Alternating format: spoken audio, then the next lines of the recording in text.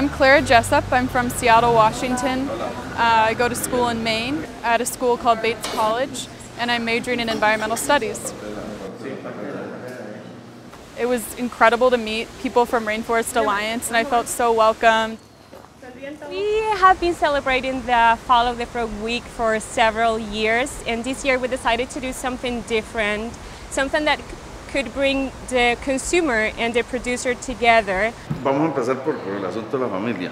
Son, yo soy la cuarta generación que trabaja en café. So today I met Don Miguel, and he was really nice and amazing, and he took us to his farm. He's very knowledgeable about the land and very aware, and he's also very dedicated to the land. You know, there's no break from farming. The plants don't take a vacation or anything. Um, so I think just seeing his dedication to his um, crops was really incredible, and I learned that he's um, been working with coffee for over 30 years and that it's been passed down through his family and that he hopes to pass it through his family as well. Um, and seeing that, that it's a family business is really incredible. Estos son granos, esto es un futuro grano de café. He's showing you uh, what will be a future coffee berry. Wow! Bueno, mi nombre es Miguel Badilla Ureña. Yo vivo aquí en Santa María de Ota de toda la vida. Este, soy productor de café por cuarta generación en el caso de mi familia y este, asociado a Copedota desde hace 31 años.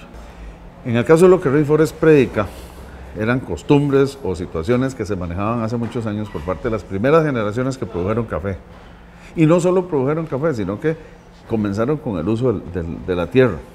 O sea, eran este, situaciones que pretendían preservar lo que, lo, que, lo que había, preservarlo y mejorarlo, cuidarlo.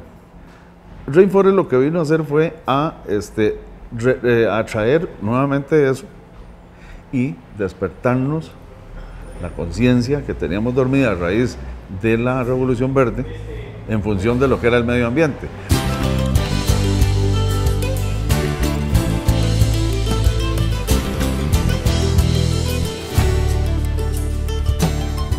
I think the cooperative's ability to help um, teach these different technical aspects of farming is really important for both the earth and the farmer. Um, and then the, the quality of the beans are higher and the, there, there's a higher production rate. So I think it benefits everyone.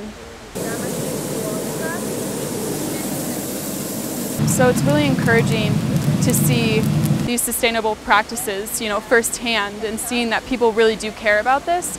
So it gives me a lot of hope and and um, I hope that it really does, you know, this sustainable mindset takes over the agriculture all over, um, and it, it encourages me to share what I've learned as well.